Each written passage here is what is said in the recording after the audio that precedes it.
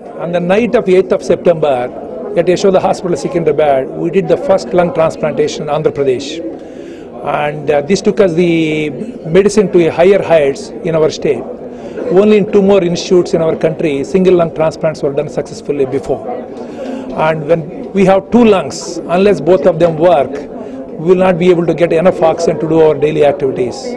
For this 34 year lady who came from Pune, Maharashtra, both lungs got damaged by a condition called pulmonary fibrosis. Because of this, lungs became stiff and oxygen was not going through the lungs from atmosphere into the blood. She became breathless. She could not walk even two steps. She couldn't get down from the bed, go to the toilet or go for lunch or dinner. She's totally bedridden. At this stage, she was on oxygen and she had only a few more weeks to survive.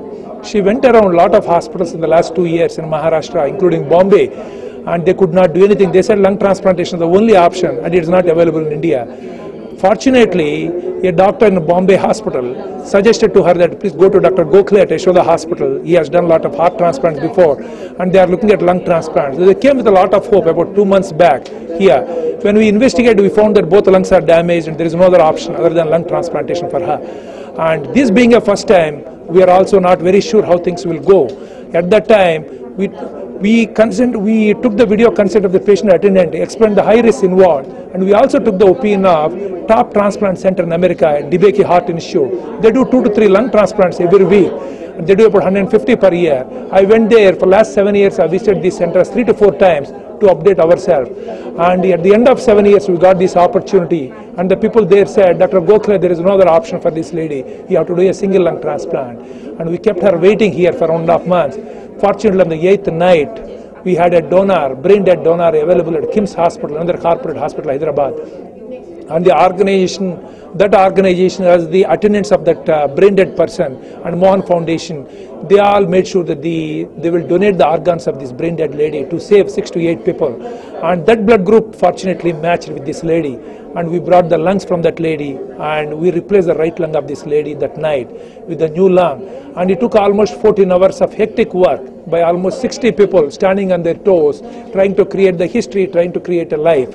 And we literally forgot to breathe at the end of that 14 hours when the, the new lung started working. That is the time we took a deep breath and thanking God for everything. And after that, the patient is recovering well. Now she has been taken off ventilator. She is breathing by herself, walking around, and she has done, shown a lot of improvement. And she will take another two to three weeks before that lung becomes fully working condition and after that she need to stay for another two three months in the city then we plan to send her back to her Pune to lead her life there are many conditions that cause damage to the lungs you see every time we breathe smoking atmospheric pollution viral infections conditions called sarcoidosis and rarely viral infections sometimes our body in a condition called autoimmune disorder starts thinking that our organs are not our own. It starts fighting with our own organs. It's called autoimmune diseases. Because of so many conditions, and many conditions unknown to us, the lungs can get damaged. When they get damaged very badly, drugs do not work. And the only option is this lung transplant. Is the first lung transplant was done in, uh, in the world in 1963 in America. Today about 2,000 transplants are being done all over the world.